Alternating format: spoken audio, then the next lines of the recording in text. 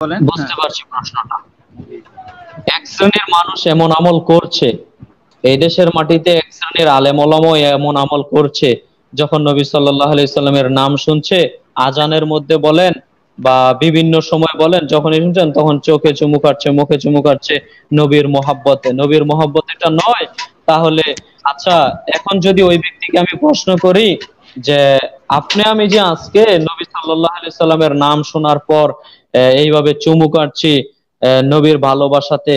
তো সাহাবাই কারাম কি নবীর ভালোবাসা বুঝতেন না? সাহাবাই কারাম তো এমনটা কখনো করার প্রয়োজন মনে করেননি। তো আপনার আমার এত মহাব্বত কেন? বিশ্বাস করুন, আপনি আমি মহাব্বত করছি না, বরং রাসুল সাল্লামকে অপমান করছি। আপনি আমি এটা মহব্বত করছি না, বরং রাসুল আলাইহি সাল্লামকে অপমান করছি। কেন অপমান করছি?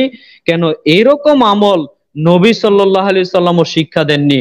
নবী সাল্লাল্লাহু আলাইহি সাল্লাম জীবিত থাকা অবস্থাতেই আবু হুরায়রা রাদিয়াল্লাহু তাআলা আনহু সব সময় পাশে থাকতেন। এরপরে আবু বকর সিদ্দিক রাদিয়াল্লাহু তাআলা আনহু রয়েছেন, ওমর রাদিয়াল্লাহু তাআলা আনহু রয়েছেন, আলী রাদিয়াল্লাহু তাআলা আনহু রয়েছেন।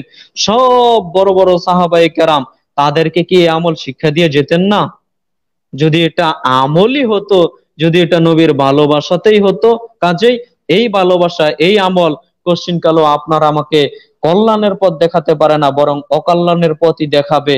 বরং এ থেকে বেরিয়ে আসতে হবে, এটা বিদাত হয়ে যাবে। কেননা এটাই হলো নব আবিষ্কার, এটাই হলো নতুন আবিষ্কার। এটাই দিনের মধ্যে আপনি, আমি আজকে নতুন ভাবে আবিষ্কার করেছি যে রাসূলের ভালোবাসায় এই কাজ করতে হবে। কাজেই এই কাজ থেকে বিরত থাকতে হবে। রাসূল সাল্লাল্লাহু আলাইহি সাল্লামকে ভালোবাসতে হবে, অন্তর দিয়ে। ওই প্রকাশ্যে এইভাবে নাকে মুখে চুমুর মাধ্যমে ভালোবাসা রাসুলের প্রকাশ পায় না। বরং এটা রাসুলকে আমরা অপমান করছি। জি ভাইজান।